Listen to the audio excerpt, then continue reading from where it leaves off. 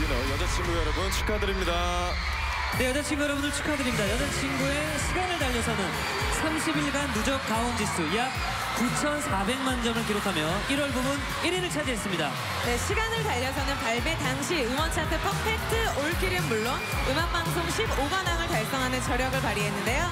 음원 발표 1년 만인 지난달에는 가온 차트 기준 스트리밍 1억회를 돌파했습니다. 네, 다시 한번 축하드리고요. 우리. 여자친구분들 이제는 정말 소녀에서 여자로 많이 성숙하신 것 같습니다. 수상 소감 들어볼까요? 둘, 셋. 안녕하세요, 저희가 작년에 시간을 달려서로 정말 많은 사랑을 받, 받아서 정말 행복한 한 해를 보냈는데요. 일단 저희가 많은 사랑 받게 해주신 어, 버디 너무 감사드리고요.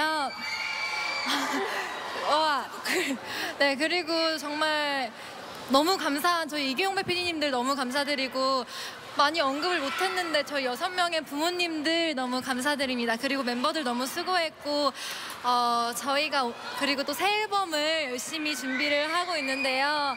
어, 여러분들 많이 기대해 주셨으면 좋겠습니다. 그리고 어, 우리 멤버들 사랑해요. 앞으로도 많이 사랑해 주세요.